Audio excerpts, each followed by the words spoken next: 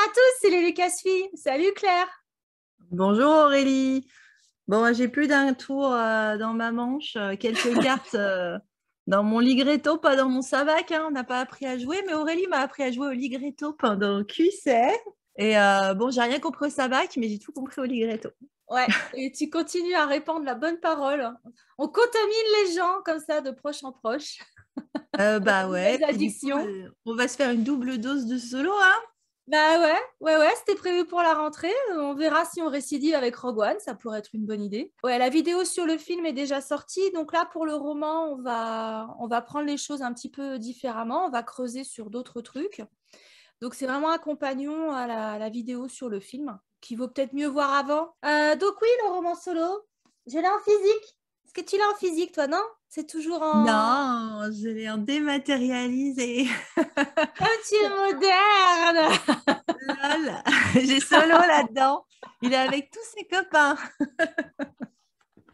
Donc moi j'ai l'édition, euh, la collection Outre-Fleuve, donc euh, parce que les novélisations Star Wars, comme Lucille nous l'avait euh, expliqué, sortent d'abord chez Outre-Fleuve, qui fait partie de la maison Pocket. Hein. Avant d'être réédité chez Pocket, il a été réédité en poche chez Pocket. Donc c'est un roman qui a été publié en 2018 au moment de la sortie du film, traduit en 2019 par Axel Desmoulins et Nicolas Ancion, le, duo infernal de la Team Pocket.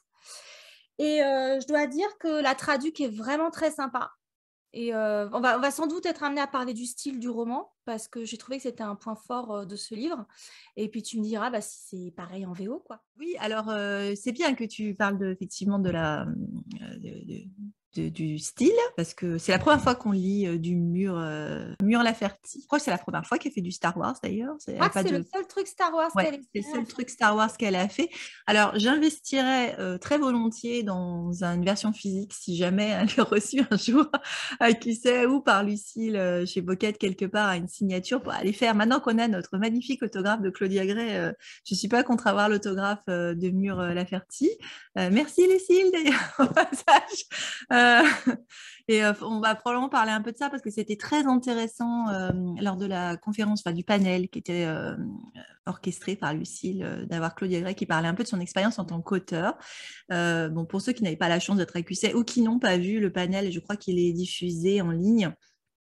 Euh, ça permet de replacer des choses parce qu'il y a toute l'expérience qu'on s'est posée plusieurs fois d'ailleurs avec Aurélie, c'est-à-dire comment tu es choisi euh, pour devenir un auteur Star Wars et comment ça se passe quand tu travailles avec Star Wars et quelles sont les répercussions euh, que peut avoir un auteur de Star Wars sur la franchise et sur l'univers. Parce que c'est vrai que souvent, ils sont un peu dans leur monde à part et bien que leurs œuvres soient canon, elles peuvent être décanonisées du jour au lendemain. On l'a vu avec tout ce qui était l'univers légende.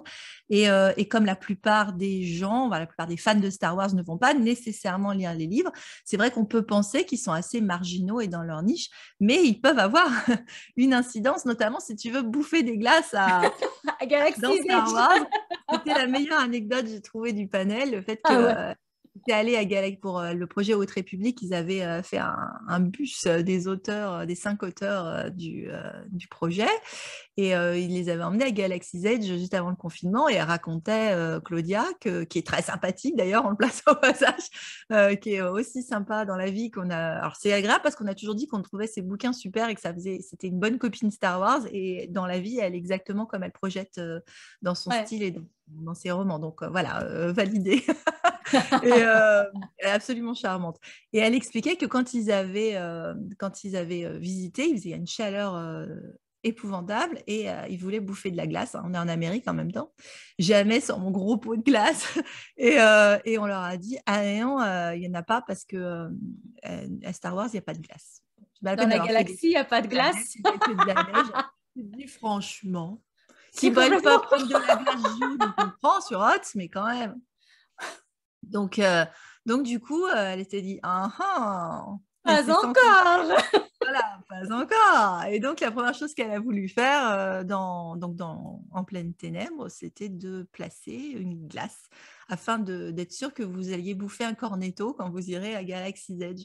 Donc si vous pouvez manger de la glace dans le jour où ils vont ouvrir à Disneyland Paris ou dans les Galaxy Edge déjà existant, vous pouvez remercier Claudia Gray, ce sera grâce à elle. Donc oui, les auteurs ont un, un vrai. un impact, ouais.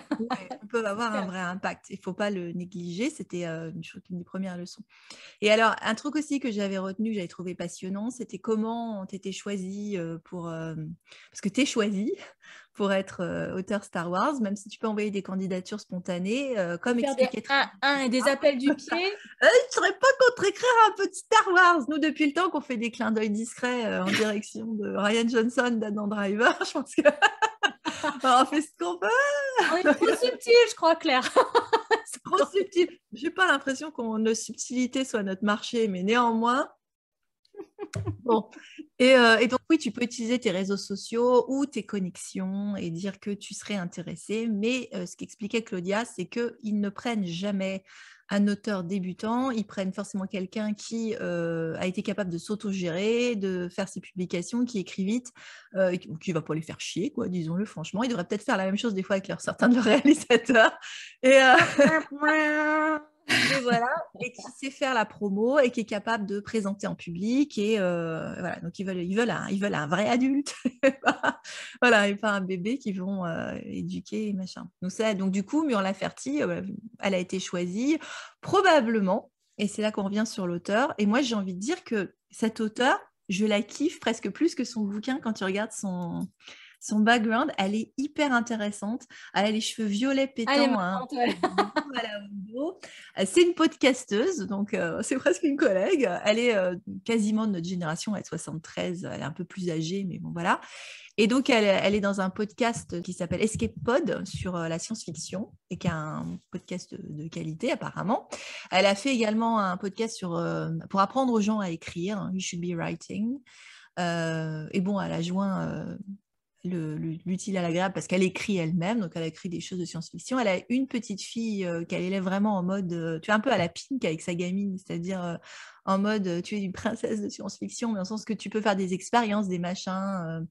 Et, elle a vraiment, je pense, très à cœur un agenda féministe qui était déjà présent, comme on l'a dit sur le film, mais qu'on va nuancer, je pense, en tout cas en ce qui me concerne, que je vais nuancer fortement, bien qu'on était très enthousiasmés euh, dans le film, euh, le bouquin pose beaucoup de problèmes. Euh, La dernière chose que j'ai oublié de dire sur Mur, c'est qu'elle se présente dans son petit, dans son petit résumé de vie sur le fait qu'elle était une artiste d'arts martiaux, enfin qu'elle pratiquait les arts martiaux, elle fait du kung-fu et tout. Et euh, il y a plusieurs scènes de combat et des choses comme ça. Et bon, euh, tu vois, c'est. Euh... du quasi. Ouais, c'est exactement ça. Et c'est une anecdote qui est marrante parce que vraiment, elle se présente en, en, badass. Et je pense que ça doit être quelqu'un de super fun dans la vie, quoi. Ah oui, oui, je pense qu'on aimerait bien euh, boire une chopine avec elle. Oh, bouffer une frite. bouffer une frite, comme un cuisset, ouais. Ça fera deux on espère faire plus court dans la mesure où on ne va pas raconter l'histoire. On peut dire que comme c'est une novélisation, ça, on avait, c'est notre deuxième novélisation du coup, parce qu'on avait fait la novélisation de l'ascension de Skywalker. Ah, c'est pas le même genre. Hein. On l'a pas vécu pareil, je pense. Ni toi euh, ça se lit vite, ça se lit bien. C'est bon, si on dans les généralités. Euh, et, ça, ce qu'on trouve dans une la raison pour laquelle tu as cherché une novélisation, c'est pour avoir euh, bah, des scènes manquantes, ce qui est le cas, tout ce qui a été coupé. Donc c'est vrai que tu retrouves toutes les scènes coupées qui peuvent être ou pas dans les Blu-ray si tu as les Blu-ray, euh, mais mmh tu n'as pas nécessairement. Euh, si tu pas tout dans le Blu-ray, hein. non, effectivement. Voilà, déjà, tu peux confirmer ça parce que toi, tu as le Blu-ray. Et deuxième chose que tu cherches que moi je cherche en tout cas dans une novélisation, je pense que c'est le cas de la plupart des gens qui relisent des novélisations, en dehors de retrouver l'ambiance, etc., c'est euh, d'avoir la psychologie des personnages et donc ce qu'ils pensent à certaines scènes. Et ça, pour le coup, c'est fait et c'est d'autant fait, enfin de, façon de plus d'autant plus intéressante que euh, on a des points de vue de personnages qui n'ont pas forcément voix au chapitre ou qui sont mmh uniquement des personnages secondaires. Donc que ce soit euh, Chewbacca, Kira, où on a tous les détails qui manquaient de ce qui s'est passé entre le moment où elle est euh, récupérée par les molosses, par Moloch et compagnie là sur. Spatioport, ouais. Mmh. Ouais, sur Corellia, euh, jusqu'au moment où Anne la, retrouve. Et surtout, euh, bah, L3 et Lando, si je tiens à dire, parce qu'on n'avait pas beaucoup parlé de Lando. Et euh, il y aura des choses à redire sur Lando. C'est mhm. vrai qu'il y a plein de trucs à dire. On a un petit peu zappé, à part pour parler de son style. Et c'est vrai que le style est très présent. Ah oui, il y a une séquence Barbie avec Lando. ah ouais, non, il y a beaucoup de séquences intéressantes. Il y a une séquence Adolphe aussi, tu pourrais dire. Une bonne séquence Adolphe. le drama chinois et coréen. plus de douche Car oui, on peut passer plus de temps sous la douche dans Star Wars.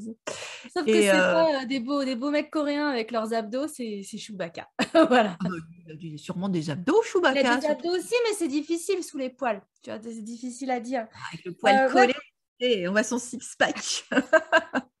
Alors, ouais, fantasmer sur un Wookie. Euh, ah, il y en a qui le font, je te rappelle que ça existe. oui, c'est vrai. Hein Wookie with a Wookie, ça existe.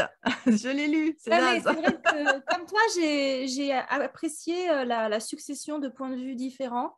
Et on n'était pas forcément euh, que dans la tête des personnages principaux. Et ça, c'était vraiment, vraiment agréable. Parce que ça, ça ajoute une, une compréhension supplémentaire bah, à l'histoire. quoi.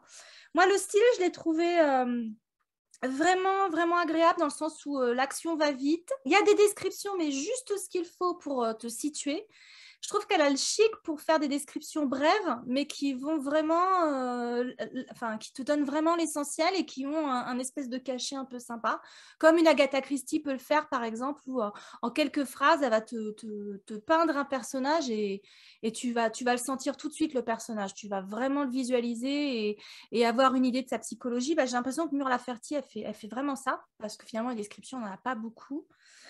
J'ai trouvé que c'était drôle non seulement les échanges, euh, les, échanges comme on a pu voir dans le film, les trucs nous ont fait rire dans le film, mais aussi euh, les pensées des personnages, des fois, euh, juste les situations.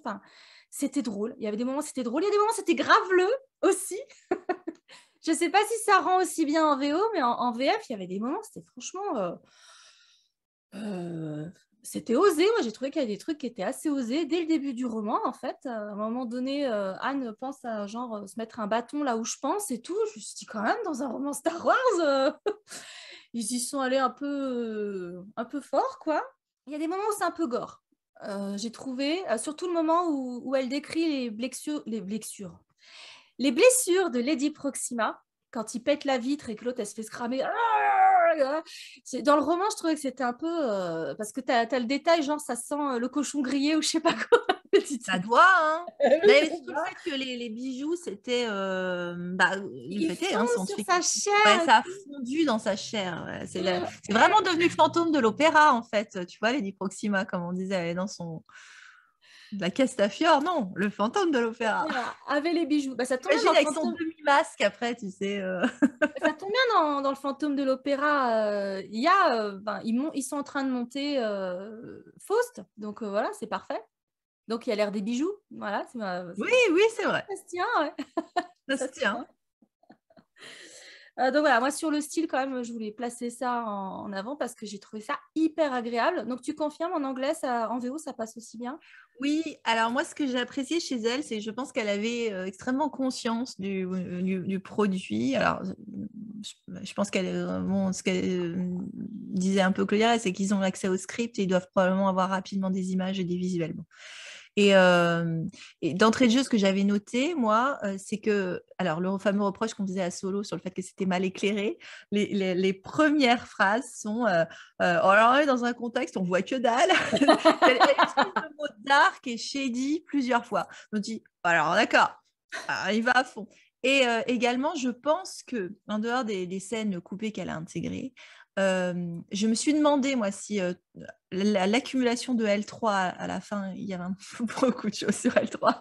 Et mmh c'est ah très dur. Tu parlais du côté fun, mais là, c'est là que ça devient ah, oui, dur. dur. Ouais. Vraiment dur. Et qui va nous amener à dire des choses qu'on n'avait pas du tout dit par rapport à la réception du film. Et là, c'est vrai que tu ne le perçois pas du tout pareil, je trouve. bon. Et, et, donc, du coup, je me suis demandé si euh, elle s'était sentie de le faire, s'il n'y avait pas un commentaire par rapport à la façon dont c'est euh, balancé assez rapidement et de ce que ça pouvait euh, sous-tendre. Et il y a vraiment une réflexion sur la condition féminine, c'est pour ça que j'avais placé ça d'entrée du jeu sur elle, mmh qui est très intéressante et, et, bah oui, qui montre tous les problèmes qu'il y a dans l'univers Star Wars, mais dans notre univers à nous. Et, hein, bien sûr, c'est une La question d'éducation, la question du libre arbitre. Créature voilà, sentiente. Ouais, du consentement. tout ça, c'est présent et, et c'est fait subtilement parce que oui, tu, quand, es, quand, tu, quand tu le sais, tu le sais. Enfin, je veux dire, tu le vois. Enfin, c'est, tu peux le lire comme ça, mais tu peux passer complètement à côté et dire ah, c'est fun ride, je m'éclate et machin. Mais c'est pas fait de façon, je trouve, trop lourde. C'est pas prêchi prêcha. Oui. Mais ça y est. Ça y est, mais ça, ça te, si, si tu as envie de le lire vraiment juste pour le fun, ça va pas te sortir de l'histoire en disant ouais, on essaie de, de, de me convertir ou de, de de me, de m'enfoncer un message politique dans le gosier, euh, c'est pas du tout. Un euh, bâton dans le cul comme pour ah Ou voilà, ou le bâton dans le cul, c'est comme vous voulez. Toujours très classe avec les Lucasfi, hein, comme vous savez. Oh oui, bah, t'as qu'à blâmer Claire, et puis voilà. Euh. Non, non, j'assume aussi. Hein. et tu, tu l'as dit, c'était dans le bouquin, enfin là, c'est pas dans le livre, je peux même retrouver la page, hein, si vous voulez. Ah. Attention, elle va citer la citation. Ah, attention, hein. ouais, non, je suis capable. Attention, hein. C'est marqué, hein, c'est pas moi. Hein. Alors, page 72 pour ceux qui lisent euh, l'édition euh, Outre-Fleuve. Anne se demanda si, pour être engagée par l'Empire, il fallait forcément avoir l'air d'avoir un bâton dans le derrière. Et j'ai noté Oh, je l'avais remarqué aussi quand je l'ai lu. tu vois, j'ai pas pris en note euh, parce que malheureusement, tu le sais, mais tant pis, je vais le dire. J'ai tendance à lire dans ma mémoire. pas toujours le meilleur endroit pour prendre des notes. Écrire en gros, tu sais, sur le côté. C'est vrai que du coup, bah, j'ai pas. Mais effectivement, j'ai tiqué comme ça en disant, mais comme c'est bien vu, effectivement. Hux, nous pensons à ah toi. Ah bah oui, Hux. Ça marche jusqu'au premier ordre. c'est ça. Et c'est sûr que du coup, notre cadet solo risquait pas d'avoir une grande carrière. Hein. Il n'y a pas un bâton dans le cul, lui. Hein. Ah non, non, non. Il met des bâtons dans les roues, mais il n'a pas un bâton. il a juste le cul bordé de nouilles, comme on a dit. Oui, oui. il a pris cette option-là, effectivement. L'option euh... nouilles mentionner rapidement justement les fameuses scènes coupées, mais bon, il y en a qui nous intéressent plus que d'autres, mais c'est vrai qu'il y a l'ouverture n'est pas la même euh, que le film, puisque justement on a ce qui se passe avant le moment où Anne euh, démarre le speeder qu'il a chouravé euh, dans le bas de sa banlieue de Corélia. Et donc du coup, bah, on a toute une scène où c'est fait amocher. Pas fait trop amocher hein, quand tu le vois dans le film, mais néanmoins, normalement, il se prend des as l'impression qu'il se fait beaucoup plus défoncer. Ouais, et c'est des créatures qui étaient intéressantes, et ça aussi c'est intéressant par rapport à notre auteur haut en couleur, etc. Un agenda éventuel de questions sur euh, l'identité sexuelle ou ce genre de choses, parce que les créatures dont j'ai oublié le nom, euh, sont des créatures qui sont précisées comme étant non genrées. Euh, alors, comme on réfère à, elle quand on va, je ne sais pas ce que toi tu avais en français, mais ça évacue le truc. Mais, euh, mais on ne sait pas si c'est des filles et des garçons. Ils sont très très blancs, je crois, c'est ça le truc. Enfin, bon, c'est des créatures. Ouais, c'est ça, le chef. Et donc, il leur... et donc, le truc, c'est qu'il leur a extorqué, parce que donc il avait été envoyé par Lady Proxima pour l'histoire du coaxium. Euh, et, donc, il a prévu de s'en garder une fiole. Bon, ce qu'on voit après dans le film, il s'est gardé une fiole pour avoir son ticket euh, de sortie avec Kira. Et, euh, donc, du coup, bah, il essaye d'embrouiller, ainsi que je t'embrouille les autres, disant bah, il y avait une fiole en plus. Ah, bah non, c'était prévu comme ça. c'est toi qui gagne. il fait sa tchatch habituelle. Il se fait quand même mettre la misère parce qu'il se fait mettre la misère. Et on a ces pensées qui sont euh, il doit absolument rentrer euh, chercher Kira, euh, alors que c'est pas effectivement. Enfin, il n'est pas sûr de Kira. Mmh il est quand même dans le doute sur est-ce que si la situation était inverse, elle aurait fait pareil? Et on sait plus tard par les pensées de Kira que bah, elle avait moult plans. Elle, elle, fait rapidement des plans, elle fait rapidement des possibilités. Et bon, il est minouchet, notre Han Solo, donc euh, elle, elle, est touchée, comme tu l'as dit sur le film, par sa loyauté et, euh, son côté euh, chien-chien. Bah, en fait, quand on parle de Han et de, et de Chewbacca, on, avait dit le modèle, c'était le chien pour Chewbacca, le chien de George Lucas. Mais quand tu regardes les interactions entre Han et, et Chewbacca, des fois, c'est plutôt, et c'est même placé ici dans le bouquin, c'est Han, l'animal de compagnie de Chewbacca. Ouais, ça arrive. Il y a le moment, tu sais, où il voit les autres euh, Wookiees euh, sur, euh, euh, sur Kessel. Et tu as les autres qui lui. On voit d'ailleurs dans le film qui lui passe la main sur la tête. parce que c'est parce qu'il le voit comme un petit gars, t'es un bon petit gars. le sidekick de Chewbacca. et en fait, pour, pour, du point de vue des, des, des Wookiees, c'est comme on disait, c'est un petit gars qui sait pas trop quoi faire en fait. Et l'autre, c'est son gardien, certes, mais en fait, souvent, il le regarde en mode. Oh là là là, quel boulet, tu vois. et Anne, il y a un côté un petit peu chien-chien fou, quoi. Mais c'est vrai. chien-chien, ça m'émère, mais il y a à côté son côté chien-chien, quoi. Et c'est vrai que Kira, dès le début, dès, les premières descriptions qu'on a d'elle et son premier POV, son premier point de vue, elle est présentée comme un mastermind depuis son enfance. Vraiment une tête pensante. Et elle aurait pu à un moment donné se barrer sans lui, puisqu'elle avait la fiole planquée, etc., pendant que lui, il était en galère avec Lady Proxima, etc. Mais elle n'aime pas avoir une dette envers quelqu'un. Et en plus, bah, c'est vrai qu'elle tient à lui, parce qu'il est choupinet, quoi. Il est choupinet. Mais tu sens qu'elle, c'est une survivor plus, plus, plus, plus, avant même qu'elle ait toutes ces merdes suite à son évasion ratée, quoi. Donc ça, c'est mis en place. dès qu'on te présente Kira, tu sens qu'ils ne sont pas faits de la même étoffe, en fait, ces deux-là et que bah, plus tard dans l'histoire, ça va poser problème. Alors qu'on ne le sent pas nécessairement dans le film, dans le roman, c'est vraiment évident, j'ai trouvé euh, dès, euh, dès, le début. Oui, parce qu'on a plus son point de vue. Mm. Mais ça la rend pas antipathique. Non, non, non, au contraire, tu as la sympathie pour elle parce que tu te dis, elle en a tellement chié, a fortiori après. Quand et même, je pense que l'auteur a, édulcoré ce qui est arrivé à Kira. Euh. Oui, oui, oui. oui. Il n'y a, aucune allusion à, à, des agressions sexuelles, par exemple. Non, mais mais bon, c'est non, C'est passé sous silence, euh, voilà, mais euh, quand elle est passée d'un mètre, euh, de son premier mètre à Dryden. Mais oui, mais le fait qu'elle ait voulu absolument faire la peau à, son ancien, à son ancien maître et qu'elle n'en parlera pas à Anne, euh, elle lui ment, euh, elle lui raconte pas ce qui s'est passé. Et le fait même de mentir, de pas dire la vérité, parce qu'à un moment, il y a cet échange entre deux. Euh, juste après, c'est sur le faucon, alors on saute dans tous les sens, c'est pas grave. quand le faucon, on fait cocher un hyperespace, voilà. quand, quand, elle vient d'avoir la, discussion avec elle 3 qui est beaucoup plus longue longue et plus, détaillée sur euh, la question de effectivement c'est là qu'on a les flashbacks sur le passé de Kira mmh euh, et où elle se pose des questions sur alors attends c'est quoi ma relation avec Anne et qu'est-ce que je dois dire et aussi par rapport à la à son à son asservissement à l'aube écarlate là. Euh, juste après, elle a re un dialogue avec Anne et où il lui demande timidement hein, Est-ce que tu as été blessée pendant le, Bon, c'est une métaphore de. c'est pas hein. juste, elle s'est fait hein, disons-le franchement. C'est est-ce que tu as été violée, quoi? Et elle lui dit bah, bah bien sûr, couillon, tu crois que mariée? Mais elle rentrera pas dans les détails. Et, et, en même temps, il pose la question, mais il veut pas savoir non plus, parce que je pense qu'il aurait du mal à gérer cette information non plus. Ah, parce ça, lui, que ça lui renverra sa culpabilité de il est parti, quoi. Il n'a pas le choix, mais je veux dire. Mais il s'en est toujours voulu, donc ouais, c'est.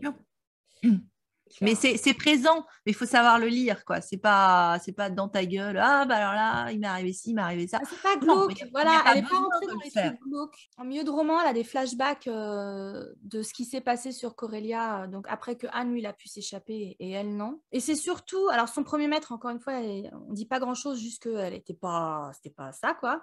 Par contre, quand elle euh, pense à Dryden Voss, elle dit un truc très intéressant, c'est que Dryden l'a détruite, l'a brisée, pour mieux la reconstruire.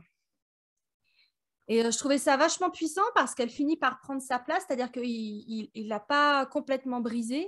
Et je, pense que c'est de, revoir Anne qui lui a fait rappeler un peu ce qu'elle était avant et, les espoirs qu'elle avait avant et que elle regrette encore plus de ne plus être la femme euh, que lui imagine en fait parce que bah il lui est arrivé ce qui lui est arrivé et, et du coup c'est elle sera jamais libre, ce qui est super triste parce que tu le comprends très très tôt. Et, euh, et je trouve que dans le roman, du coup, le parallèle entre Kira et L3 est beaucoup ah plus appuyé. C'est un truc ah, de malade. Déjà, elles deux font le lien quand elles discutent. On, est, on, est les deux mêmes en fait. Et il y, a, plein d'occurrences où l'auteur met le doigt dessus en disant qu'en fait, elles, ont quasiment le même parcours toutes les deux. Elles sont mmh. vraiment mises en bah, parallèle. elles ont quasiment la même fin. Oui, oui, oui. Et tu le vois pas dans le film. C'est pas un truc qui, te frappe, je trouve, justement, quand tu regardes le film. Après, euh, quand tu lis le bouquin et que tu y repenses, tu dis, ah oui, on aurait pu aller vers cette interprétation. Mais là, c'est vrai, comme tu le dis, dans le bouquin, c'est c'est vraiment, vraiment appuyé. Alors, est-ce que c'est l'auteur qui, qui l'a reçu comme ça et qui, euh, et qui, du coup, a insisté sur ce côté-là et, euh, et, du coup, c'est intéressant parce qu'effectivement, oui, tu peux complètement faire le parallèle entre ces deux parcours euh, féminins et, et, du coup, c'est terrible. Et on disait, les, les, points de vue de Kira la rendent pas antipathique. Elle n'était pas antipathique non plus dans le film. Ça, on n'avait pas tellement parlé de l'interprétation d'Emilia Clarke. Elle, elle, était, elle, elle, elle, nous échappait. Elle, nous, échappait, comme elle échappait à Anne, en fait. Mais on la trouvait, je trouve qu'on la trouvait pas antipathique. Est-ce que c'est parce que c'est Emilia Clarke Je ne sais pas. Elle peut jouer des personnages antipathiques. Hein. Il y a des moments où Daenerys, euh, avant le délire de la saison 8, on n'a même pas en parler, où, on la trouve franchement pas, pas, pas, chouette, hein. on la kiffe beaucoup moins tout de suite. Hein, mais... Euh. Ouais, je sais pas. Moi, je, je, trouve qu'elle a toujours son côté petite bonne femme machin qui m'a jamais, euh, je l'ai jamais trouvé antipathique. je trouvais qu'elle était, une dure. Ah oui, oui, oui. Hein, oui, elle, bah, elle, est dure, mais dans le monde dans lequel elle vivait, euh, oui, c'est ça. Et là, ça s'applique aussi hein. nos personnages. Exactement. Qu'est-ce que tu veux faire dans le monde où tu es là Tu te fais bousiller ou... Et, et je trouve que elle n'a pas perdu ce que je disais. Elle, se souvient de la, la, fille qu'elle était. Euh, alors, oui et non, parce que je pense qu'Anne l'a jamais perçue, connue vraiment. Je... Bon, c'est Anne, hein, comme on l'a dit. Donc, euh, lui, euh, quelqu'un hein, en face comme Léa, tu vois. Kira, c'est pas Léa. Hein. Il faudrait pas qu'elle soit comme, qu'elle devienne comme Anne l'a rêvé, parce qu'en fait, Anne, il la rêve d'une certaine manière. Et ce qu'elle était à 16 ans, hein, parce qu'en fait, ils ont quasiment 15-16 ans, enfin, c'est des adolescents, en fait, au début. On ne voit pas parce que les acteurs, ils ont le même âge. Mais je veux dire, ils, ils ont 30 ans, hein, tous les deux, au moment où ils tournent. Mais... Euh, et ça, c'est vraiment appuyé par un autre point de vue, qui est celui de la, la nana qui, euh, qui passe le coaxium pour pouvoir passer l'impérial rebelle là, ouais, à la lèvre ça est contre la régulation et elle, elle met du rouge. Et ça, c'était intéressant aussi, cette femme corrompue. Tu avais aussi ce, ce, petit élément-là, c'est juste une, silhouette dans le film, tu la vois pas plus que ça. Et en fait, il y a toute l'histoire de ses projets personnels et comment elle gère la corruption. Et, euh, et, effectivement, son côté rebelle de m'en fous, je me mets du rouge à lèvres le matin et de la bébé crème si je veux, je t'emmerde. Fuck l'Empire Fuck l'Empire Avec son tube de rouge, tu vois. Et non, mais je trouvais ça, je trouvais ça bien, en fait, euh, qu'ils mettent ça. C'était intéressant. Là aussi, ça redonnait euh, encore un personnage, du coup, de femme moralement grise, nuancée, machin, ce que tu veux. Bon, elle travaille pour l'Empire. Hein, c'est pas c'est encore une fois, c'est une silhouette. Mais c'était placé. Et elle, quand elle les voit, elle les voit vraiment comme euh, les deux gamins pouilleux sortis de Dickens, là, les deux gosses. Qui sentent l'anguille pourrie oui. Eux, ils se voient comme des rebelles, euh, nos fameux euh, rebelles, euh, rebelles on the run, là, les, les rebelles en cavale. Et en fait, les rebelles en cavale, c'est deux gosses. C'est deux gosses paumés. Hein. C'est deux gosses paumés, avec des pauvres fripes dégueulasses et qui ont des grands rêves, mais c'est deux gosses. Et c'est bien d'avoir replacé ça, ce truc-là. et bon. Pardon, excuse-moi. Surtout qu'elle perçoit tout de suite cette impériale que la plus maligne des deux, c'est Kira de très loin, hein, puisque dans le film, on voit bien qu'elle dit on donne le coaxium une fois qu'on est passé. L'autre, elle se dit, OK, c'est elle la plus maligne des deux parce que lui, il me donne le truc et puis il me fait confiance, il est con, tu vois. Donc, encore une fois, c'est appuyé. Kira, c'est la plus futée, c'est celle à qui on ne la fait pas, en fait. J'avais bien aimé parce que du coup, les points de vue extérieurs sur les personnages, euh, ça te permet d'avoir d'autres facettes. Nous, on a, on a une façon de les percevoir dans le film. C'est beaucoup quand même par le prisme de Anne, dans le roman, beaucoup moins, et c'est ça qui le rend vachement intéressant, en fait. Mais encore que ce qu'on n'avait pas dit sur le film, c'est que, et je crois que c'était une des critiques qui avait été faite, c'était que euh, dans ce film, finalement, qui est sur la jeunesse de Solo, personnage, un des personnages les plus aimés, euh, c'est intéressant d'appeler l'épisode le, mal aimé, le personnage le plus aimé, encore une fois, euh, les gens, ils ont tué Anne, ils sont jamais amis, et Dieu sait si vous savez mon amour pour Anne Solo, mais moi, je ne pas de problème avec le fait de tuer Anne là-dedans. Et eh ben, c'est pas le film de Han Solo. C'est ce que la critique qui avait été faite. C'est-à-dire que tous les autres personnages autour, tu parlais de haut en couleur la dernière fois, euh, Aurélie, et finalement tous les autres personnages étaient bien plus intrigants et haut en couleur que notre jeune solo. Alors est-ce que c'est parce que oh, bah, Solo on le connaît déjà, ou, et du coup les autres nous intéressaient parce qu'ils étaient tout nouveaux, tout beaux, ou est-ce que c'est parce qu'effectivement il y a des personnalités qui étaient plus intrigantes et plus intéressantes. Tu vois, c'était le truc. Et là, c'est vrai que euh, on est moins sur la psyché de Anne et plus sur les, autres, et euh, c'est vrai que bah, tu es beaucoup plus intéressé par ce qui se passe dans la tête de L3, euh, par euh, ce qui se passe euh, dans la tête de Lando quand il choisit une cape, ou un shampoing Adolphe, dans la tête de Kira quand elle est là en train de faire son mastermind et qu'elle a son cerveau laser qui tourne à donf. ou de la tête de Tobias, c'est intéressant aussi parce que du coup, on avait mentionné euh, pour le film les, temps de deuil, etc. Là, c'est un peu plus appuyé que dans le film parce qu'il repense à ses chers disparus, euh, Val et, Rio.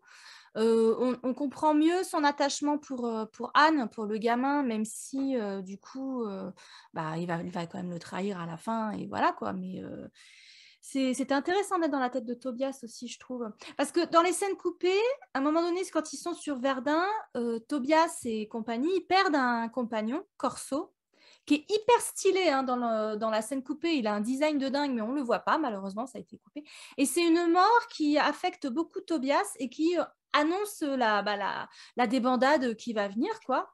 Donc, euh, quand, il prend, quand il prend Anne et, et Chewie à bord, il, se dit, il, repense à Corso qui vient de crever comme une merde euh, sur le, dans la gadoue là et, il se dit euh, ouais non mais en fait euh, enfin ils remplaceront jamais Corso etc donc il vient de perdre un membre de son équipe et puis bah, il va tous les perdre les uns après les autres. Donc lui quand même sa psychologie Tobias c'est le mec qui va tout perdre pendant le temps du récit en fait.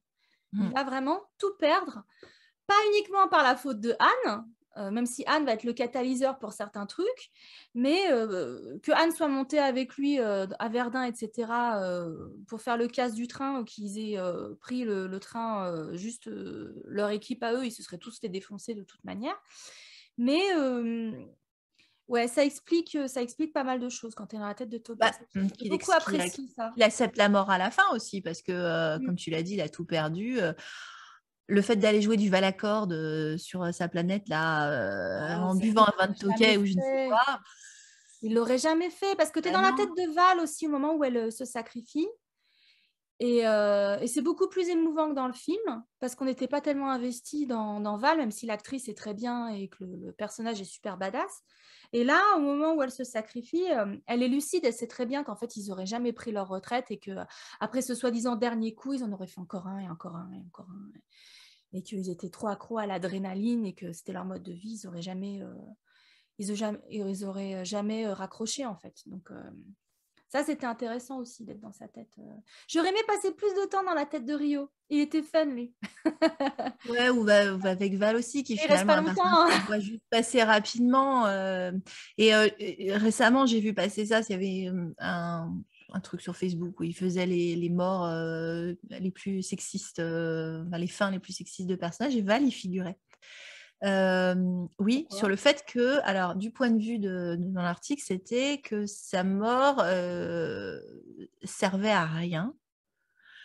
et alors, c'est une entrée que je trouve intéressante par rapport à nos personnages féminins là-dedans si, tu si on repart là-dessus, là, sur la question de girl power ou machin, qui va être très mise à mal par le roman, justement. Alors, ça n'enlève rien hein, au fait que ça puisse être féministe, parce que justement, il y a une dénonciation d'un traitement des femmes qui est, je pense, fait par l'auteur et de la condition féminine.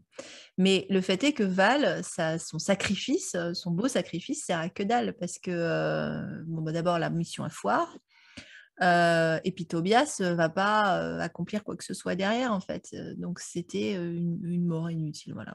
en plus, c'était un personnage accessoire. Moi, tu peux le dire de beaucoup de personnages. Si tu pars sur. Mais tu vois, quand j'ai lu ça, ça m'a fait réfléchir aussi aux, autres personnages de, de, de, ce film, de ce roman-là, pour le cas qui nous préoccupe. Et L3, c'est pareil.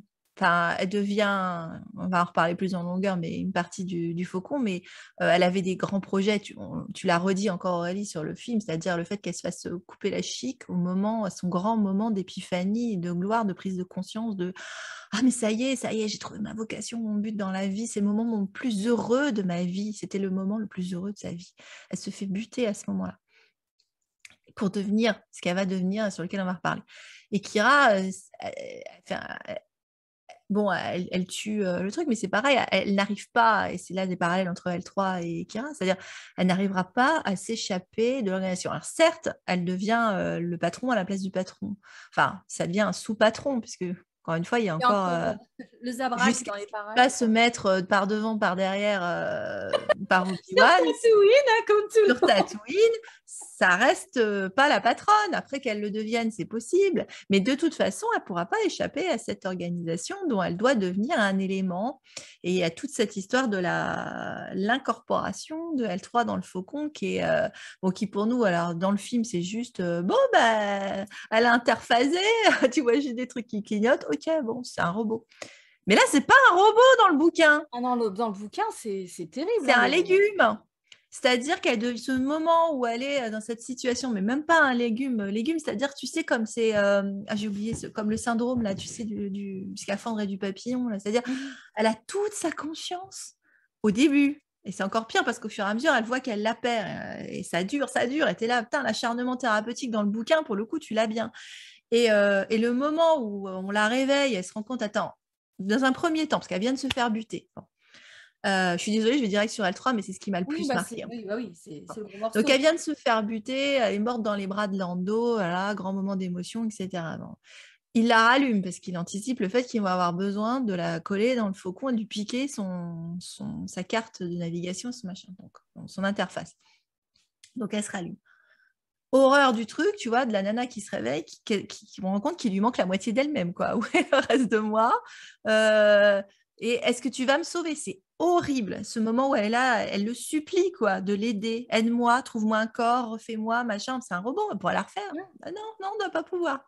Bon, déjà c'est dur. Après, on te la recolle le moment où elle se rend compte qu'ils sont en train de la coller dans le faucon. Elle a encore toute sa pleine conscience. Donc, je te dis, comme un, comme un, être humain qui est là sur sa chambre d'hôpital, qui ne peut pas bouger, qui ne peut pas parler, mais qui perçoit tout ce qu'il a autour de lui, qui veut communiquer, et, c'est absolument atroce, surtout pour un personnage qui voulait se libérer, qui avait autant de choses à dire et à faire.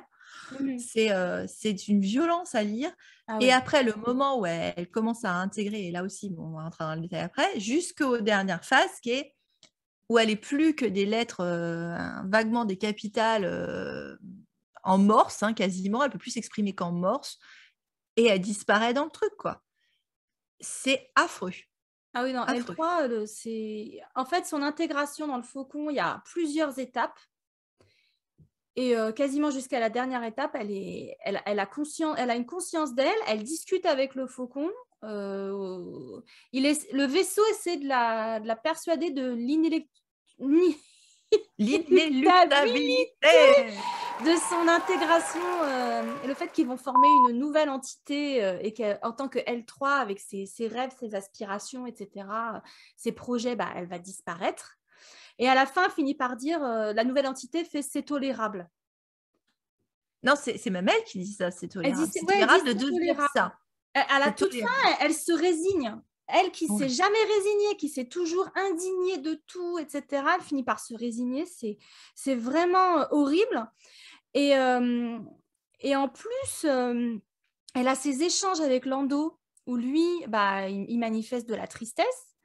Comme tu l'as dit, elle apparaît, c'est matérialisé en capital d'imprimerie le fait qu'elle est dans le vaisseau et, et, elle parle à Lando à travers l'écran de contrôle du vaisseau, en fait, dans le cockpit une fois qu'il s'est barré de Savarine, qu'il les a laissés tous dans la merde, là. Et, euh, c'est super dur, quoi. C'est super dur de... Parce que... Parce que euh, elle est, tu sens qu'elle est en colère, elle n'a pas encore envie de se résigner, euh, limite il l'a trahi, etc. Et puis en même temps, elle comprend qu'ils n'avaient pas le choix. Et puis, alors je suis quoi? Moi, je suis juste une, une, base de données de, de cartes de, navigation maintenant. je suis piégée alors que je voulais être libre. Enfin, limite, si, si elle rit pas jaune de l'ironie de la situation, mais toi, tu n'as pas envie de rire parce qu'en fait, c'est horrible. Et lui, il est triste, il caresse les consoles, il caresse le, vaisseau, machin. Enfin, et en plus, ce que tu disais la dernière fois, c'est-à-dire que il va même perdre ça, puisqu'il faut ne plus à lui et que Anne s'en fout complètement, même s'il est au courant de ce qui s'est passé. Euh, bon, parce que voilà, encore une fois, c'est rétroactif. Hein, évidemment, euh, il n'y avait pas l'histoire de L3 euh, dans la trilogie originale, mais je veux dire, même s'il adore son faucon et qu'il a un rapport amoureux avec sa voiture, et eh ben, néanmoins, c'est pas L3, quoi. Lui, il n'avait ah pas de, rapport à. je veux dire, L3, c'était pas son, pas son ami, c'était pas son. Il l'a connu, certes, mais je veux dire et Lando va même perdre ça. Oui, parce qu'il y, y, a un moment où il, il, euh, promet de prendre bien soin euh, d'elle, de, L3 slash le faucon. Et à la toute fin, quand euh, Anne remporte le vaisseau au sabac, tu as Lando qui fait ses adieux au faucon slash à L3. Donc il y a, eu un shift aussi là-dessus tu sens que c'est un déchirement pour lui, même si elle est déjà de fait plus, plus là, c'est une nouvelle entité euh, Faucon Millennium, quoi. Euh, bah, il faut qu'il, lui aussi, il va falloir qu'il renonce à ça. Et bah, c'est, c'est comme si elle mourait une deuxième fois. Parce qu'en fait, les, les gens. Elle meurt plein de fois, plein, plein de fois. Plein de fois. T'as la mort physique, t'as la mort, euh, la mort psychique, enfin la mort cérébrale, quoi, intellectuelle, quoi qui se fait en plus en plusieurs étapes. Et puis, tu as cette dernière séparation que tu mentionnes. C'est une agonie, en fait. C'est une agonie que tu perçois à travers euh, L3, parce que tu es, quand même souvent, finalement, dans sa tête. Les choses beaucoup à la fin, beaucoup, beaucoup, beaucoup. Euh, dans sa tête, ses échanges avec le faucon. Et puis, il y a une agonie pour Lando, parce qu'il y a les échanges avec L3 euh, via l'écran, et puis où, il marque des, des, moments de, de, peine. Et puis, finalement, tu te rends compte que tous ceux qui ont disparu dans, dans le film, et dans le roman, euh, c'est des gens qui ont été arrachés aux autres. Et L3, elle a été alors littéralement arrachée, euh, l'interface, comme tu l'as dit, et finalement, elle est arrachée à Lando une dernière fois quand Anne remporte le vaisseau. J'ai trouvé ça super dur, d'autant que Anne, en plus, au moment où justement L3, elle est en train de claquer et qu'ils vont devoir se résoudre à, prendre son interface, euh, au début, il se dit Ouais, bon, c'est bon, c'est juste un droïde. Et puis plus tard, il comprend l'attachement que Lando peut avoir vis-à-vis de ce droïde parce qu'il reconnaît qu'il il en a jamais rencontré des comme ça, qu'elle a une individualité, une personnalité, etc. Tu as le mot déchirant, je ne sais pas comment ils l'ont rendu en anglais, mais le mot déchirant qui est utilisé dans la VF euh, au moment où la fin de L3 est décrite elle est vraiment décrite, cette mort, comme, euh, comme celle d'une personne euh, organique. Ah oui, parce qu'il pense même qu'il y a du sang de L3 sur lui. Oui, alors que c'est... Je crois qu'elle saigne. Il croit qu'elle saigne, donc elle est vraiment euh, personnalisée comme un être de chair. Pour que c'est la mort la plus poignante du, de l'histoire en fait. La mort de Val, la mort de Rio, etc. C'était triste, mais on était beaucoup plus investi dans, dans L3 qui est un robot. Donc pour nous aussi, ça interroge en tant que lecteur bah, organique, hein, voilà quoi. Et elle est vraiment dépeinte comme, euh, comme un membre d'équipage. Anne lui reconnaît ce statut quand on est dans son mmh. point de vue. Ils ont perdu un membre d'équipage euh, comme un autre. Bah, puis tu as aussi euh, toute sa conception qui est racontée, c'est-à-dire le moment où, en fait, comme elle est un mélange de. Bah, il y avait un, truc espion aussi qui lui avait mis, qui, lui avait été mis. Donc, si tu veux, elle, elle a eu un éveil à la conscience. Bon. Donc là, on va repartir sur euh, comment l'esprit vient aux femmes? Parce que on va parler de ça en fait. On avait parlé de la question transgenre quand on avait fait le film. Là, ça se pose pas quand tu vois le roman, mais par contre, la question de l'émancipation féminine par l'éducation, euh, là, tu te la prends bien dans la gueule. Euh, et, le fait est que euh, donc elle explique à un moment, elle prend conscience, quoi, euh, qu'elle se, se, transforme en bipède. Bon, tu as quand même cette question-là, donc de la transformation. et comme elle n'avait pas le contrôle, enfin, quand il avait plus son verrou de sécurité un soir, elle s'est barrée, quoi. Ouais, et c'est dans l'échange avec, euh, avec Kira, hein, le Kira, on a encore une fois les parallèles, non seulement quand elles s'échangent finalement leurs histoires de, de comment on est devenu ce qu'on est, de la question de leur rapport avec euh, l'homme de leur vie, euh, Anne d'un côté et Lando de l'autre, et, et L3 qui elle-même est assez, comme Anne, hein, tu, disais Anne, ouais, c'est qu'un droïde, et on sait aussi pourquoi Anne il a des difficultés avec ses 3 PO, parce qu'il n'a pas grandi avec des droïdes à Corellia. Quand il était, il enfant, il n'y avait pas de droïde dans l'entre du verre blanc. Pour lui, ça n'a aucun intérêt, c'est juste des poubelles dans le fond, ils s'en foutent complètement. Euh, et donc, il n'a pas, euh, voilà, il pas créé d'attachement avec, euh, avec ces, choses-là. Et, d'ailleurs, quand il arrive dans l'Empire, quand il devient cadet, il ne comprend pas pourquoi il y a tous ces droïdes et à quoi ça sert. Et, c'est ce qu'il fout d'ailleurs en, en, galère et qu'il fait virer euh, de l'académie euh, militaire d'aviation. Enfin, il se fait virer du, programme d'aviation à cause de, ces, euh, pas seulement, mais il y a son arrogance, etc. Mais il y avait aussi la question des droïdes finalement. Donc, il n'a pas un attachement aux droïdes particulier. Et donc, du coup, bah, oui, avec L3, il voit les choses un peu différemment. Ça pas avoir une grande incidence quand on voit comment il traite ses trois PO après. Puis, R2 du 2, il n'en a rien à péter. Donc, de toute façon, la question ne se pose pas. Mais Kira, c'est pareil. Eh, probablement comme lui, elle n'a pas grandi avec des droïdes, donc elle s'en fout un peu. Donc, euh, quand ils ont la fameuse conversation sur euh, Ah bon, euh, tu as une relation avec Lando, toi Et ça vire sur, sur leur, passé. Et un des premiers trucs qu'elle lui dit, c'est Alors, quand, quand il t'a trouvé, et elle reformule Kira, elle dit Non, attends, c'est moi qui, tu vois. Donc, elle se remet en agent, c'est-à-dire qu'elle était en passif elle insiste sur le l'actif. Et donc, il y a re la question au moment où il rencontre Lando et Kira veut commencer à lui dire, donc quand Lando, quand tu as trouvé Lando, elle le formule tout de suite comme ça, elle a fait la correction en disant, attends, elle aime pas que j'utilise la voix passive, je vais réutiliser la voix active. Et le fait est que, en fait, quand on apprend ce qui s'est passé, parce que du coup, quand elle a été, euh, quand elle s'est reprogrammée, elle a fait une vraie émancipation féminine dans le sens où, après avoir fait son éducation, se barrer du père, euh, slash euh, mari euh, abusif, violent, contrôleur archaïque, patriarcal qui, était, qui la maintenait, tu, tu, mets ce que tu veux dans les cases. Et qu'elle s'est barrée, qu'est-ce qu'elle a cherché à faire? Elle a cherché du boulot. Ouais. Tu peux pas y aller plus fort dans la métaphore quand même, hein. Hein. pour être indépendante. Personne ne veut l'embaucher. Le seul qui lui donne sa chance, c'est attention, s'y attendait pas, Lando, le féministe. Jamais t'aurais pu voir venir. Ça, ça a donné ça ce bouquin. Jamais t'aurais pu voir venir que Lando était un féministe. Mais oui, car c'est le seul qui lui a donné sa chance et qui l'embauche et qui la traite euh, bah, comme un être euh, organique, euh, comme un être doué de raison. Ben voilà, qui la traite comme un partenaire, quoi. Et, et, et, donc, ça, c'était intéressant, ça, cette, cette fonction. Et pendant qu'on est sur Lando, le féministe, comment à chaque fois dans Star Wars, depuis la trilogie originale, on réinsiste, parce qu'on avait parlé dans la masculinité dans Star Wars, les personnages masculins sont jamais masculinité toxique en fait, et présentent toujours des failles et des faiblesses. Lando, le flambard, Lando, le beau, Lando, le roi du casino, du sabac et de Bespin. Pourquoi il met des capes qui sont tellement flashouilles et machin Car sa cape est un doudou.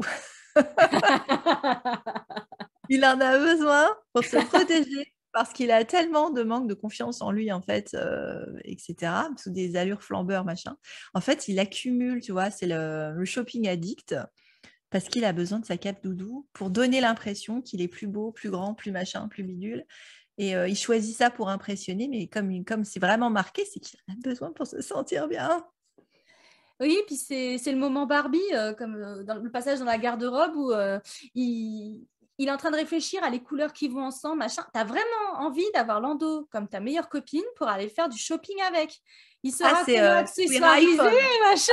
C'est queer for the straight guy. Bon, sauf que Lando, bon, il n'est pas sexuel, il n'est pas juste queer, mais je veux dire, euh, euh, voilà, c'est ça, c'est le, c'est ça, c'est un peu ça, c'est la garde-robe. Bon, il n'a pas trop envie de prêter ses robes hein, quand même. Je pense qu'il est bisexuel. attends, j'ai noté la page, page 212 pour ceux que ça intéresse. À un moment donné, il parle de ses maîtresses. Et ensuite, euh, il passe à il au pluriel. Donc, ah au, oui, non, mais... au, début de la phrase, c'est les, maîtresses. Les... Alors après, se trouve c'était lovers en anglais, et là, ils ont traduit maîtresse, mais à la fin de la phrase, c'est il au pluriel. Donc, Lando et bi, oui, vraisemblablement. non, mais pas que bi, parce qu'en fait, il couche avec n'importe quelle espèce et apparemment, potentiellement avec des robots. Pansexuels, quoi, en fait. Euh. Tant qu'ils sont consentants, au moins, il y a consentement. Hein. Oui, il y a notion de consentement. Euh. Et ça, c'est important, la notion de consentement, parce que pour revenir à la conversation entre Kira et L3, puis c'est important pour, euh, pour L3 aussi, à un moment donné, L3 demande carrément à Kira quel est ton, ton plot de contention? Ton verrou à toi, euh, il est où? Et parce qu'elle a bien compris que Kira, elle en avait un. Et son, son plot, c'est Dryden Voss, en fait. Et puis plus largement, euh, l'aube écarlate. Donc il y a toute cette réflexion sur euh, le, plot de contention. Et quand ce qui a permis à L3 de se libérer, c'est qu'une nuit, son maître organique a oublié de lui mettre son plot de contention et hop, tout de suite, elle a sauté sur l'occasion et c'est là qu'elle s'est émancipée, elle s'est barrée. Et quand elle est sur Kessel, elle enlève le plot de contention euh, d'un robot qui va libérer euh, tous les autres. Et à un moment donné, c'est dit que elle est perçue, euh, elle est perçue par les, tous les droïdes qui ont été libérés comme une déesse et le premier robot qu'elle a libéré, à qui elle a dit bah, Je sais pas, moi, va libérer tes frères et sœurs, est perçu comme son prophète. Donc, c'est quand même des mots vachement forts. Euh, tu as l'impression qu'au-delà de la rébellion des droïdes sur Kessel, ça pourrait presque être le début d'une nouvelle religion. Euh. Enfin, c'est des mots hmm, super forts. Ça, tu le retrouves dans le roman Baroud d'honneur. Parce que euh, L3 a fait un retour là-dedans où elle avait fait quelque chose justement avec des. Elle a lancé un programme euh, avec des robots, etc. Et effectivement, le côté euh, DS est présent là. Donc c'est bien que tu le mentionnes. je ne sais pas, encore une fois, probablement le dira un jour parce qu'il y a Bébé Ben. Alors, comment. Même si voilà, on n'a pas forcément des choses bien à dire sur l'auteur, néanmoins, ben, Bébé Ben, voilà, il faudra qu'on le place un jour à l'autre. Et, et du coup, L3 euh, tu la retrouves en position de DS là-dedans. Et ce que j'ai trouvé dans le roman qui était vraiment pas clair dans, le film, c'est aussi les parallèles entre L3 et Chewbacca et le parallèle entre les droïdes et les Wookiees. C'est-à-dire qu'au que euh, au moment où euh, Anne est jetée dans la fosse où est Chewbacca, il, se fait cette réflexion de comment les deux, euh, les deux Stormtroopers euh, au-dessus, là, sur les grilles, ils peuvent s'amuser de voir deux êtres euh, intelligents, deux créatures intelligentes se battre. Effectivement, c'est répugnant. Qu'est-ce que fait L3 au moment où bah, ils vont rencontrer Lando, etc. Elle s'insurge contre le fait qu'on a deux droïdes qui sont en train de se foutre sur la gueule dans des combats clandestins parce que pour elle, ces deux droïdes sont des créatures sentientes, intelligentes. Donc, tu as, ce parallèle-là qui est fait.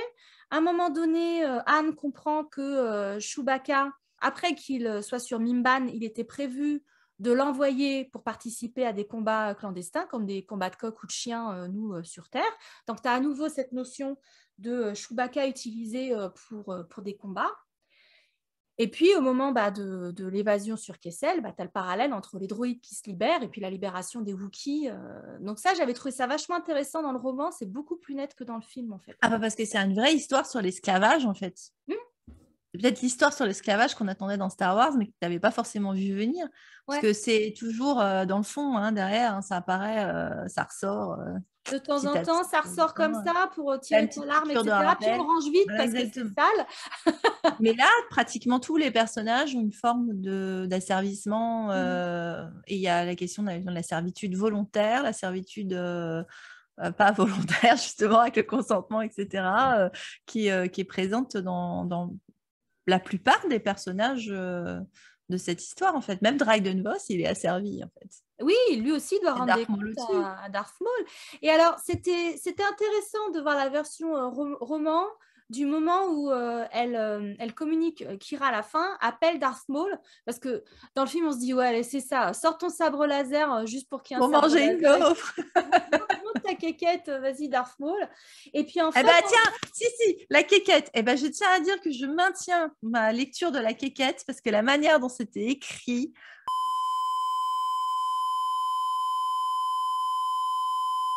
Ah oui, il se déplaça sur son siège, page 350 hein, pour ceux qui ont l'édition Outre-Fleuve. Il se déplaça sur son siège et Kira aperçut un reflet métallique trahissant la présence d'une prothèse sous sa tunique.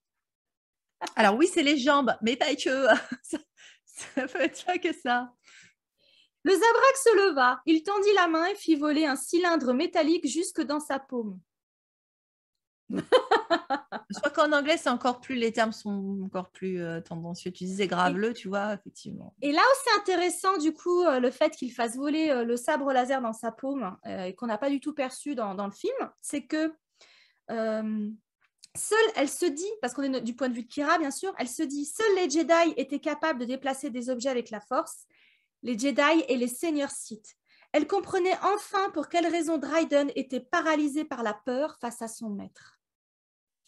et encore asservissement, tu vois, même jusqu'à Dryden. En fait. Avec le fait que Dryden, ce que tu disais la dernière fois sur son fameux euh, design avec euh, donc le, les, les, blessures palpitantes, qui apparaît en colère, excitation, etc. Elle l'appelle euh, le passager.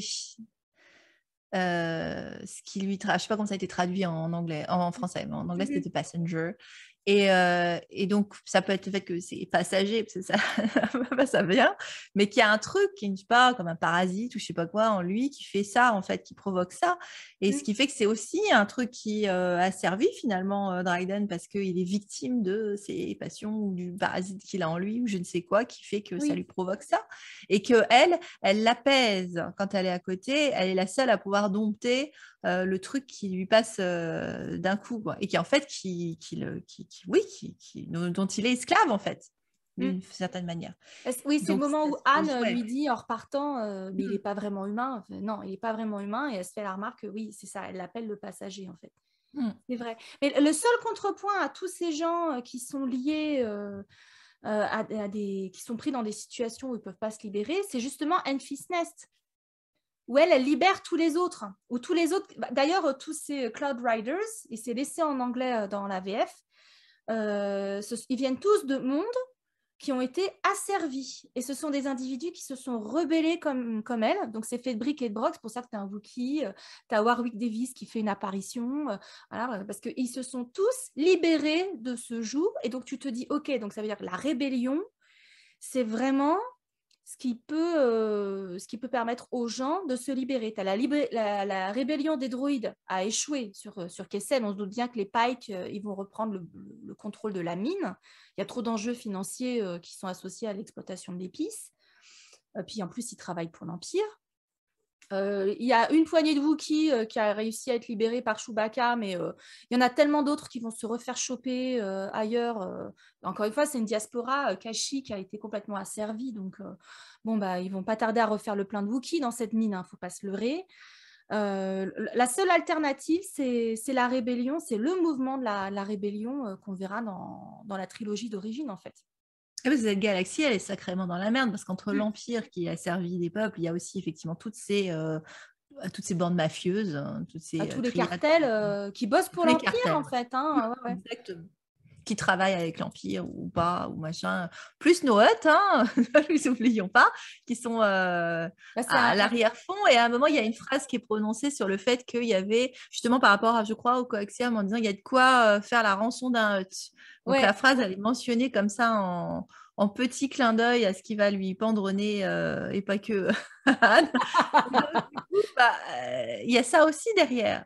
Et c'est vrai que oui, Enfis, a un contrepoint extraordinaire par rapport à tout ce qu'on dit sur la condition féminine, parce qu'en fait, c'est vrai que tous nos personnages féminins là-dedans prennent cher et que si tu le lis dans un, même si on a dit oui, au moins elles sont présentes et elles sont bien présentées, donc ça n'enlève pas un côté féministe parce que justement, il y a des femmes représentées avec leur complexité. Par contre, c'est vrai que le destin euh, dont elles héritent dans cette histoire est euh, dégueulasse et que donc du coup, tout ce que tu as l'impression, c'est mal attends. Donc du coup, la morale, c'est que les filles qui veulent se libérer, s'éduquer, s'émanciper, ben, bienvenue chez les talibans. Hein.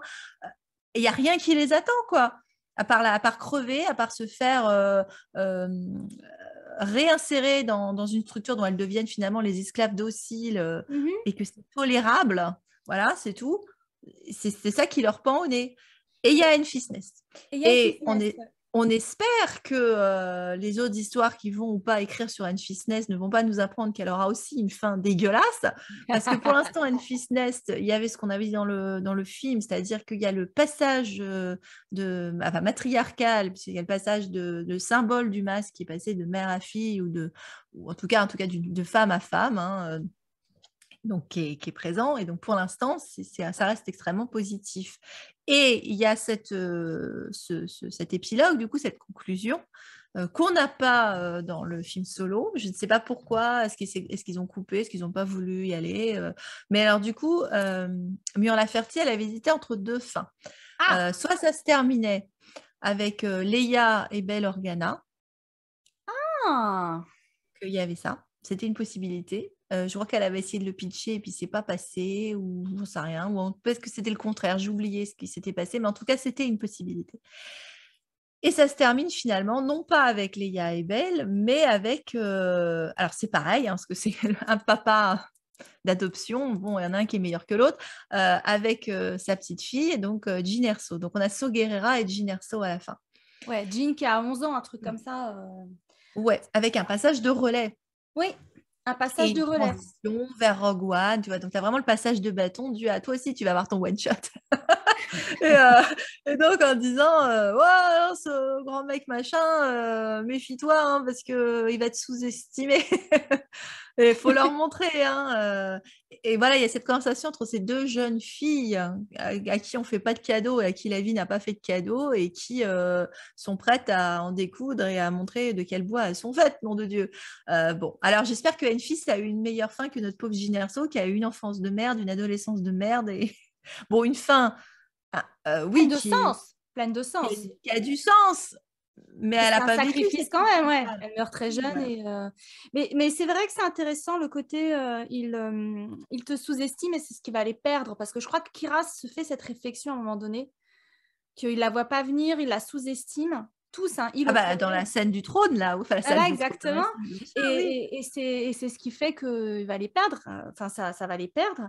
Et euh, oui, la, la rencontre entre Jean et, et Enfys, elle est vachement importante parce qu'en fait, euh, Enfys lui dit Ouais, mais méfie-toi, etc. Et tu vois que euh, Jean, elle, elle- elle a son libre arbitre. Gamine, déjà, elle a son tempérament, son libre arbitre. Et elle croit pas euh, tout ce que lui dit Guerrera comme si c'était parole d'évangile. Elle a. euh, Ah, elle a la la réserve.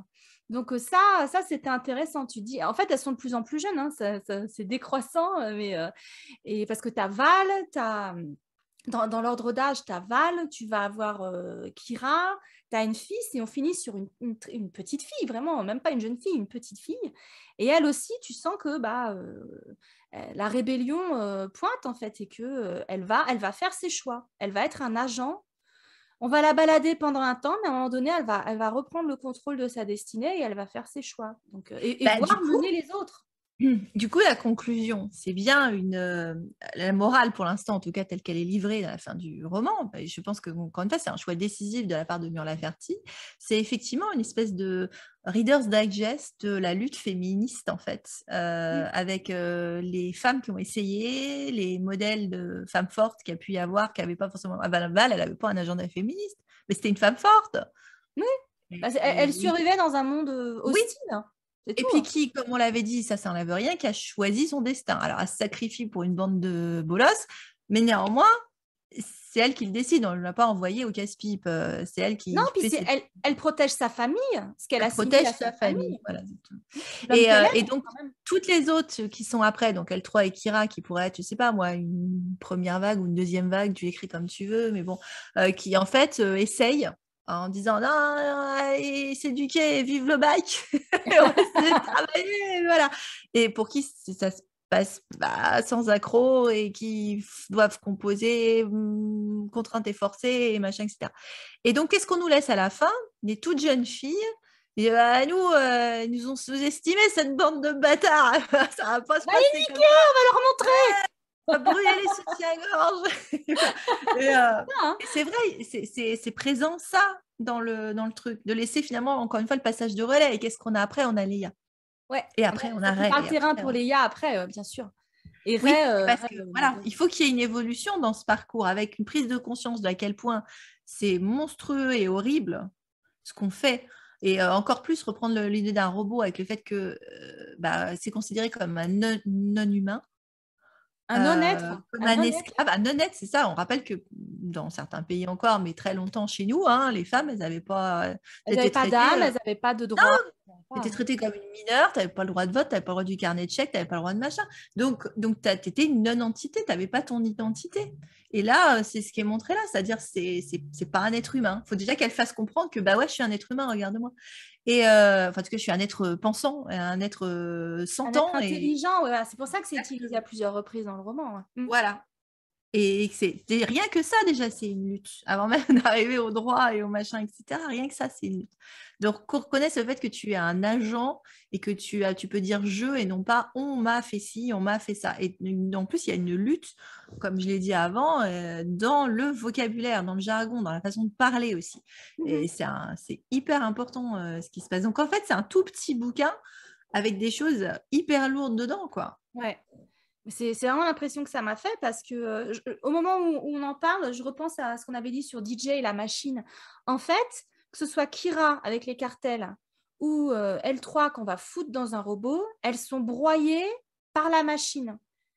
Elles, ont, elles vont avoir juste un tout petit slot, juste une place qu'elles vont pouvoir occuper dans une grosse machine qui les broie, qui, qui leur vole leur vie en fait.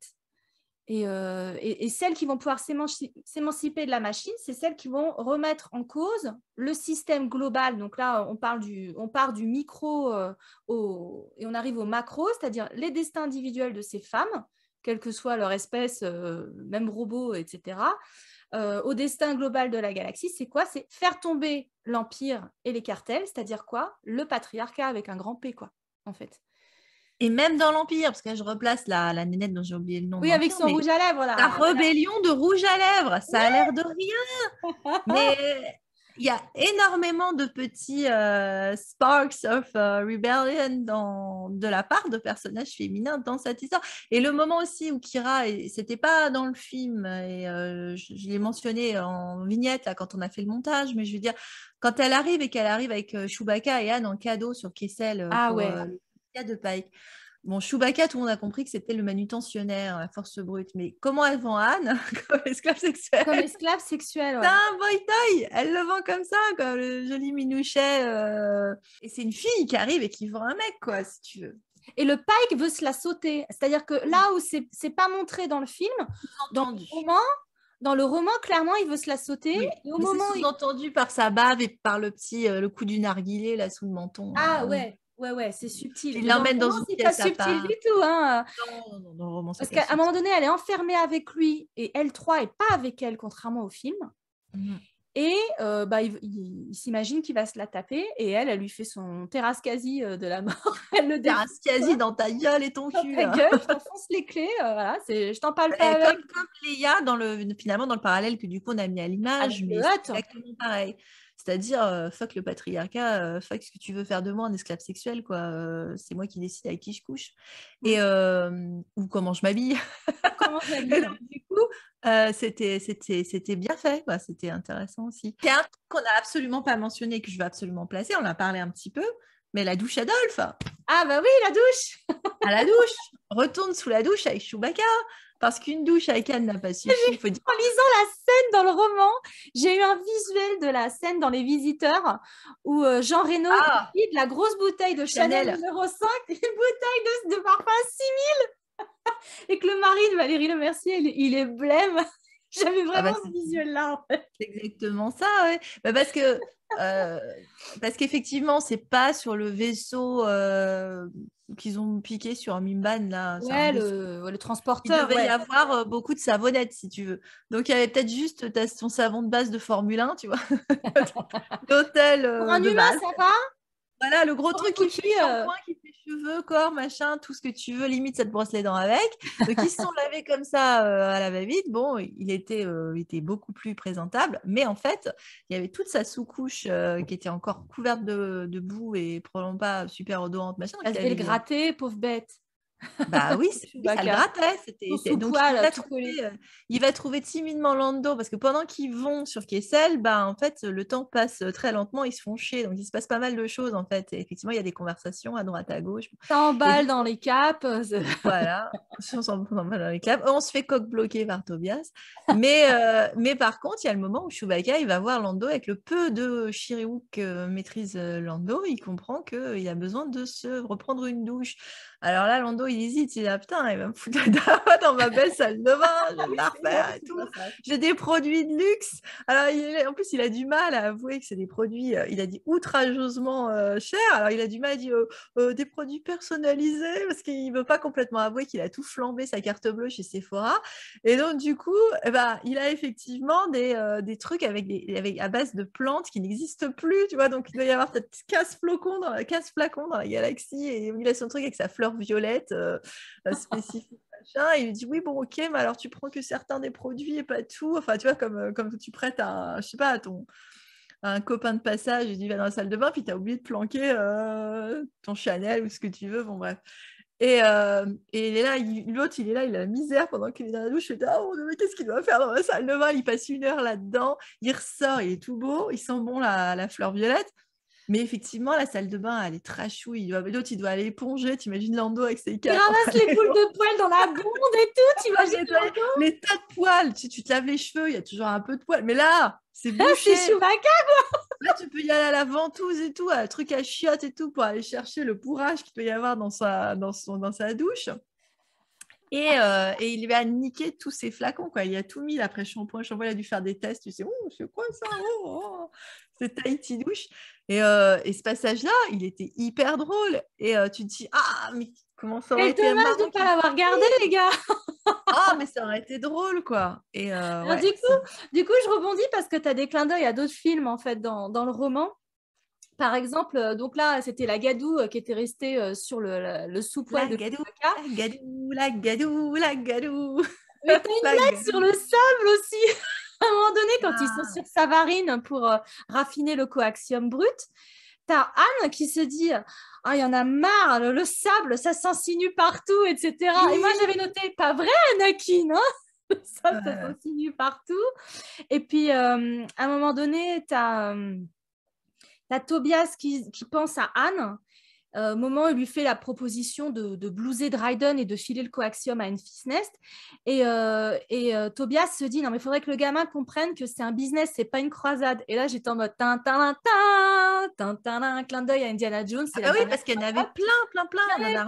En J'ai pas tout noté, mais il y, avait, plein, en fait. il y avait énormément de, de bah, la dernière croisade spécifiquement, parce que c'est vrai que la sortie du Kessel, c'était euh, le bateau euh, à Venise, tu avais, euh, les histoires de, de retournement d'alliance, de machin, c'était effectivement dans la dernière croisade, il y en a énormément en fait, effectivement. Et même le fait qu'on soit sur un jeune solo, tu vois, comme un jeune Indiana, ça a été lancé au début donc, ouais, c'était assez frappant, ouais, tout à fait.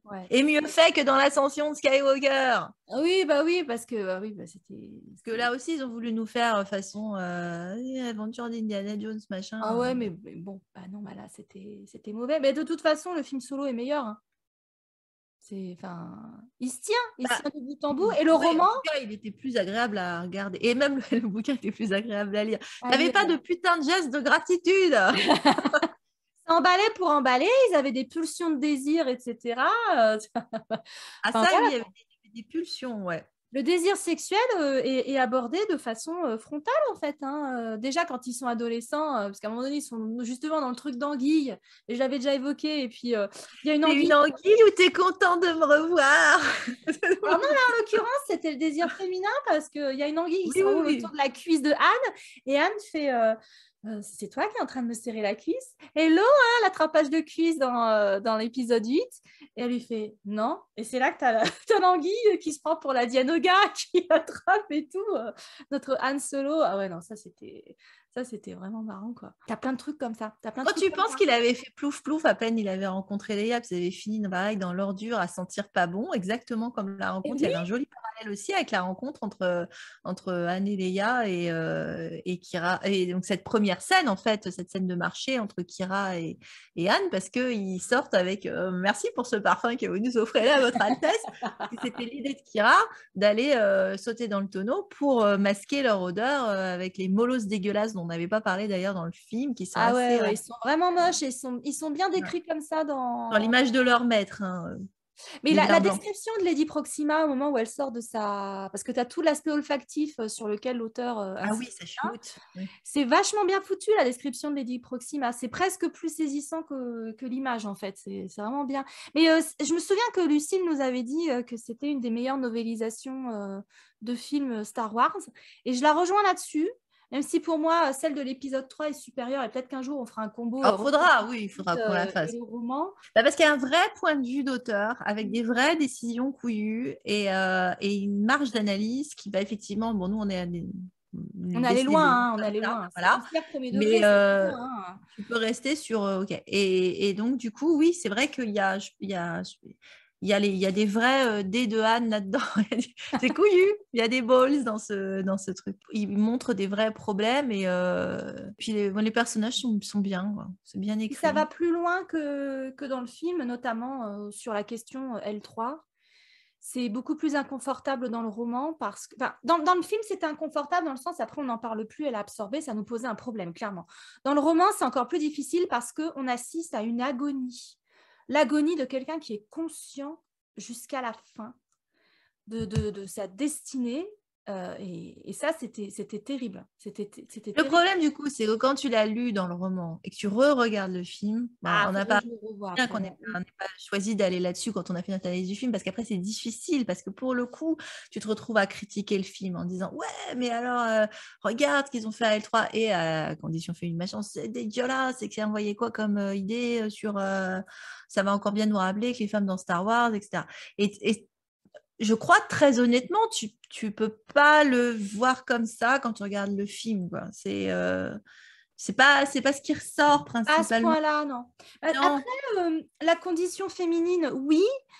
Euh, c'est sûr que c'est ils ont mis parce que L3 ça aurait pu être un mec hein, et avoir le même agenda politique etc bon ils en ont fait une fille ils l'ont genré fille mais à côté de ça, tu as aussi euh, le message, euh, enfin, tu as, plein d'autres espèces qui sont en esclavage. C'est pour ça que Kessel, c'est un moment hyper important. Tu as l'esclavage des Wookiees. Donc, la condition féminine, c'est le message principal, mais tu l'élargis à toutes les minorités, en fait. Mmh, bien sûr. Là, ce n'est pas les minorités raciales comme on peut avoir nous, euh, par exemple Black Lives Matter, etc. Enfin, c'est c'est la beauté de la science-fiction, c'est que tu vas le transposer à une espèce alien. Là, en l'occurrence, l'accent est surtout mis sur les Wookiees. Il n'y a pas que à Kessel, mais c'est surtout eux qu'on voit se fédérer, se battre ensemble. Et puis, euh, de toute façon, on a un parti pris parce qu'on adore Chewbacca déjà. Euh. bah déjà, le fait, tu pourrais dire quand même, le fait que euh, Chewbacca aille voir Lando et prenne ses produits. Tu as la question des, des, cheveux afro pas euh, tourner mmh, autour du pot. Mais voilà, Lando, c'est ça notre premier black euh, dans, euh, ah, oui, dans. Star Wars. Voilà, c'était le, le, premier et le seul pendant longtemps dans Star Wars. Donc, du coup, le fait qu'ils aient associé le fait que Chewbacca ne se sente pas d'aller rechercher des produits de beauté, ou en tout cas des, des produits pour traiter son, son, poil, enfin sa chevelure, autrement qu'auprès de Lando, ça dit quand même beaucoup de choses par rapport à la question de l'esclavage donc du coup, euh, c'est vrai que ce, roman, euh, bah, il est encore plus, plus profond que le film. Donc euh, Paris gagné pour une novélisation. C'est-à-dire qu'au-delà de la, enfin, la psychologie du personnage, c'est toujours ce qu'on recherche. Alors des fois, c'est à gerber comme dans l'adaptation, la novélisation de l'épisode 9. Et puis des fois, c'est une vraie valeur ajoutée parce que ça approfondit encore le message. Et c'est vraiment ce qui s'est passé avec ce livre-là. Quoi. Donc chapeau à l'autre. Ah bah, la preuve, parce qu'on pensait qu'on avait parlé 30 minutes, puis ça devient une heure. Donc, euh, bah, pour conclure, euh, vous l'aurez compris, on vous recommande cette lecture euh, chaudement. C'est le parfait compagnon au, film. Alors là, ça fonctionne du feu de Dieu. Peut-être regarder le film d'abord, lire le roman après. Moi, c'est ce que j'ai fait. revoir ah. le film après. Ça peut être intéressant aussi de le faire de, le faire en trois phases. Euh, on espère que ce, duo euh, vous aura plu pour le mois de septembre. Si vous voulez qu'on fasse pareil pour euh, La Revanche des Sites ou pour Rogue One, bah, dites-le nous dans les commentaires. Ce sera avec plaisir. Je pense qu'il y a vraiment moyen de... Oh, bah, ça risque d'être au programme. Mais le prochain, c'est... Battlefront 2, l'escouade Inferno de Christy Golden, traduit par, traduit par Sandy, et, eh que je vais lire en français. Et eh oui, parce que je l'ai acheté et eh oui, elle a fait ses emplettes à QC. ah bah oui, j'ai pas fait QC qu'à QC, mais euh, j'ai vidé mon sac à QC, enfin en tout cas mon porte-monnaie. Donc bah, euh, pareil. voilà. Euh, et puis donc bah voilà, n'hésitez pas à réagir. Si vous avez déjà vu la vidéo sur le film, si vous avez commencé par celle-ci, et puis on vous retrouve bientôt. À très bientôt. À bientôt.